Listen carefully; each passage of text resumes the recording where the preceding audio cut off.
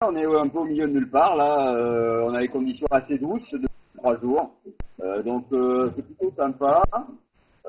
maintenant, on a un gros décalage, un gros gros décalage entre les bateaux qui sont complètement à l'ouest et puis nous et Escayadam. Euh, ceci dit, je pense que nous, on n'a pas le choix et eux non plus. Je crois qu'on est obligé de rester dans notre logique.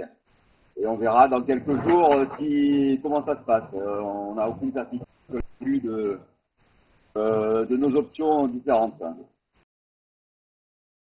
On a des, conditions qui sont très très différentes de nos petits euh, copains de l'Ouest.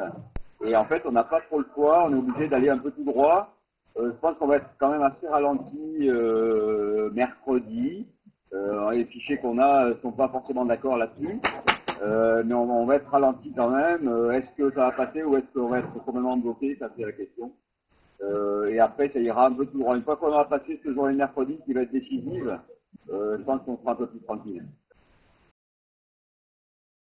C'est vraiment doux. Euh, on a pu bien se reposer cette nuit encore. On marche à, à 12 nœuds à peu près, toi, entre 11 et 13 nœuds selon les, les rivets.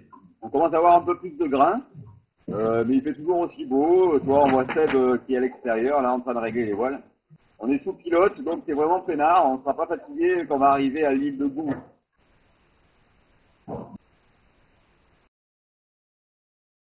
L'eau commence à se refroidir un petit peu. L'eau est à 25 degrés.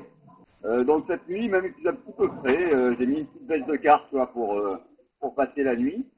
Et la journée, comme on est quand même au reaching, ben, il y a du vent sur le pont, il va par an et c'est tout à fait supportable. D'autant plus que les heures les plus chaudes de la journée, on est plutôt à l'ombre. On est finalement les, les voiles nous protègent du, du, cagnard et finalement ça se passe plutôt pas mal.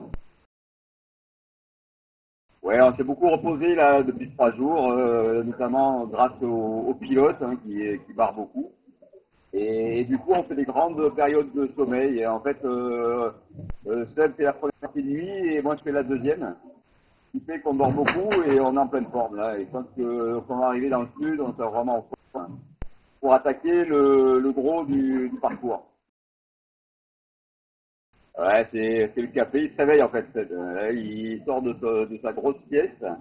Et, et, lui, on parlait repas tout à l'heure, lui, il fait, il fait au moins 4 ou 5 repas par jour. Il n'arrête pas de baffer. C'est un, un, un, peu morphal. Il n'arrête pas de manger et il se fait un petit muesli le matin, du café. Et bon, c'est une grande carcasse. évidemment, ça compte.